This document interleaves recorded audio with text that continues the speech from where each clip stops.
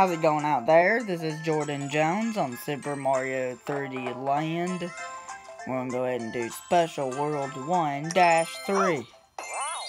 This level's easy, I have to say.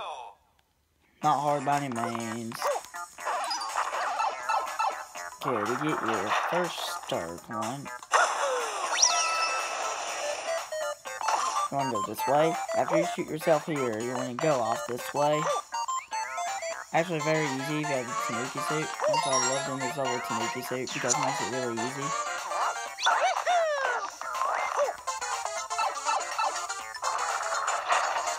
Now I wanna, wanna back up again.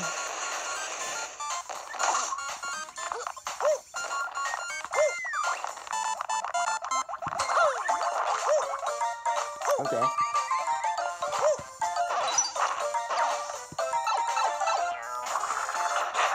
Now I want to go this way.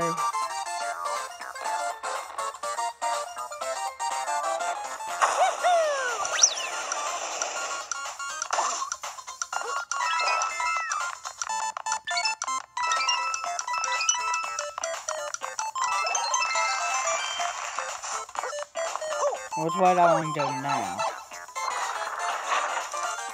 I know we have to get here get that star coin.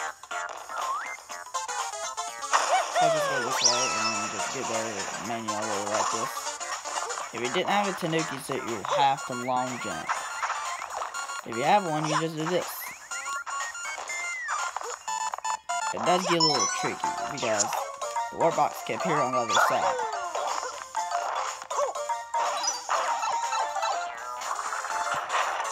Okay, you want to shoot back this way. Do this pretty easy. Is not a bad level. It's pretty easy, actually. It's a joke, this level is.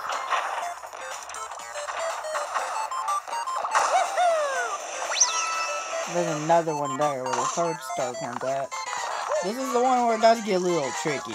I'm not gonna lie. Yeah, aim to the right. This way. Perfect. Whoa, almost died. That's what makes it a little bit tricky right there, because it's possible to die if you mess that one up.